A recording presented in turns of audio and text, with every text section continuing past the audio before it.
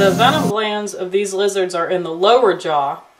You can see where the jaw looks fat. Those are the venom glands. And the venom glands are just a spongy kind of glandular tissue. They don't have a uh, muscle surrounding them or any muscle surrounding them like snake venom glands do. And they introduce their venom into whatever it is they're biting just by the chewing mechanism. And you can see how it kind of makes this almost mechanical type 2.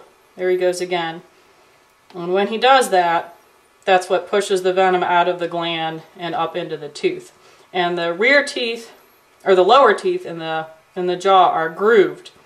So the venom slides along the groove in those teeth through capillary action into whatever it's biting.